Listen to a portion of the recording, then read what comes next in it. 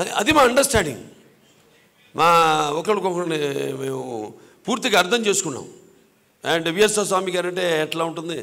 స్వామి గారు titles miss అయినా చూడగానే ఎవరైనా మా ప్రేక్షకుడు మా అభిమాను ముఖ్యంగా రాగానే విఎస్ఆర్ స్వామి గారు రా కెమెరామెన్ అనేవారు.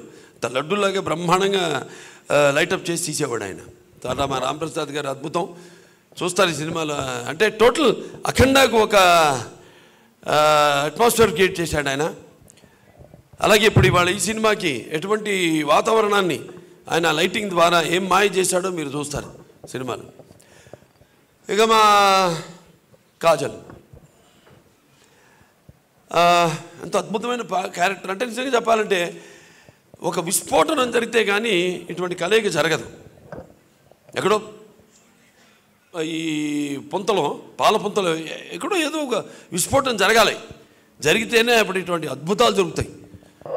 అద్భుతాల్లో ఒకటి రేపు ఇరవై ప- పంతొమ్మిది విడుదల కాబోతున్న మా నేలకొండ భగవంత్ కేసరి. అటువంటి విస్ఫోటనలో జరిగిన ఈ యొక్క కలయికే ఈ సినిమా నేలకొండ భగవంత్ కేసరి. తను సరే ఒక హీరోయిన్గా వెలిగెలిగింది ఎన్నో ఏళ్ళు ఇండస్ట్రీని ఏలిన తను.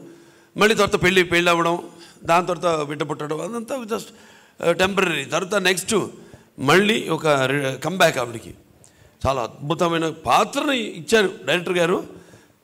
దాన్ని యాక్సెప్ట్ చేసినందుకు ఆవిడకి మా అందరి టీం తరఫున నా కృతజ్ఞతలు తెలియజేసుకుంటున్నాను. ఎందుకంటే చాలా మంచి పాత్ర అద్భుతమైన పాత్ర. చూస్తారు రేపు అన్నీ చే- ఇప్పుడు చెప్పడం కుదరదు. ఎందుకంటే ఇప్పుడు మూసున్నంత వరకే ఒకసారి తెరిస్తే ఉంది చిలక ఎగిరిపోతుంది. రేపు వెండితెర మీద చూస్తారు ఆవిడ పాత్ర అయితేనేంటి.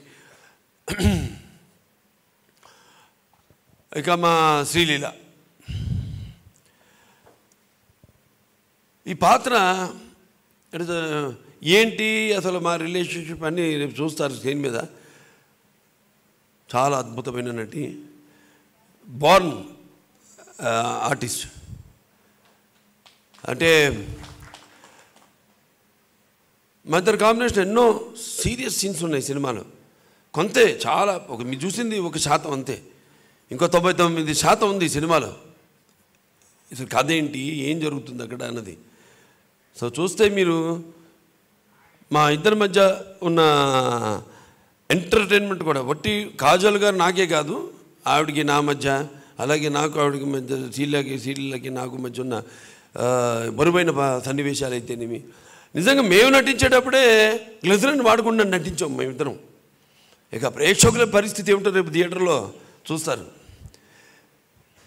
ఆడ మగ తేడా లేకుండా ప్రతివాడు కంట తడి పెట్టుకుని థియేటర్ నుంచి బయటికి రావాల్సిందే. చప్పట్లు కొట్టుకుంటూ బయటికి రావాల్సిందే ఈ సినిమాకి. థియేటర్లో ఒక్కొక్క సన్నివేశానికి నిలబడి చప్పట్లు కొట్టాల్సిందే థియేటర్లో. అంత అద్భుతంగా వచ్చింది మా ఇద్దరి మధ్య కెమిస్ట్రీ. ఇక మన తెలుగు అమ్మాయి కావడం పదహారణాల అచ్చమైన తెలుగు అమ్మాయి కావడం మనంతో ఎంతో గర్వించదగ్గ విషయం. ఎందుకంటే మనం నో నటనకి భాషా భేదం ఇందాక అన్నాను సంగీతానికి కాదు నటనకు కూడా ఎటువంటి భాషా భేదం లేదు. కానీ మన ఇంత బాగా రాణిస్తుంది. ఇవాళ ఇన్ని పాత అందరూ టా- హీరోలతో నటిస్తూ అందరు టాప్ హీరోలతో నటిస్తూ మరి ఇటువంటి పర్ఫార్మెన్స్ చెయ్యాలి.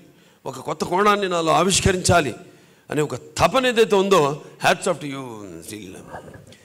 God bless you God దీర్ఘాష్మాన్ బాబు. సో అద్భుతం. ఎక్స్పీరియన్స్ నాకు. నేను ఎప్పుడు చెప్తుంటాను ఆవిడతో. ఏంటంటే ఇప్పుడు మనం హీరో హీరోలకి ఎప్పుడైనా నటిస్తామని నేను. చెప్పే కూడా మన అబ్బాయి అన్నాడు ఏంటి డాడీ ఏమి ఎవరు హీరోయిన్స్ మిగల్చమా నాకు? గ్రౌండ్ గ్రౌండ్ ఫ్లోర్ బలిసిందా డాడీ నీకు? అంటుంటాడు. అంటే నేను ఉండేది అలాగే ఉంటాం. అంతా కూడా మా రిలేషన్షిప్స్ అలాగే ఉంటాయి. సో ఎందుకంటే రేపు కలిసి చేస్తాం. నన్నేంటో పూర్తిగా అర్థం చేసుకోవాలి. అలా. సో ఇలా అందరూ అర్జున్ అబ్బాల్ గారి గురించి చెప్పాలి. అదరగొట్టేశాడు ఆయన పర్ఫార్మెన్స్ పర్ఫార్మెన్స్ అదరగొట్టడం అంటే ఆయన డైరెక్టర్ గారితో బాగానే చెప్పాను ఇందాక. ముత్యాలు ఏటవాళ్ళుగా దొర్లితే చూడ్డానికి ఎంత అందంగా ఉంటే అంత అందంగా హావభావాలను రాబట్టుకోగలిగిన ఆయన మీరు చూస్తుంటారు ట్రైలర్లో కుంటుతూ కా మీరు అనుకుంటారు. ఇదేంటి కుంటుతున్న హీరో విలను? కుట్టుతున్న విలన్తో మా హీరో పో- పోరాటం ఏంటి అని మీరు అనుకుంటారు. చూస్తారుగా సినిమాలో. చాలా ఉంది సినిమాలో. చాలా దాచిపెట్టి ఉంచా. చాలా చెప్పాలని ఉంది మొత్తం సినిమా గురించి.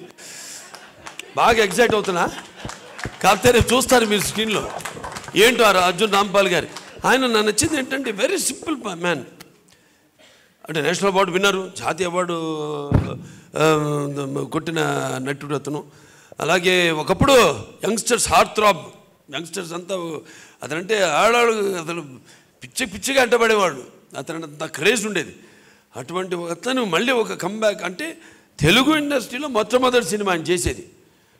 And down to the earth లేదు రాత్రి పది అయింది పదకొండు అయింది పన్నెండు అయింది షూటింగ్ అలాగే ఉండేవాడు ఆయన.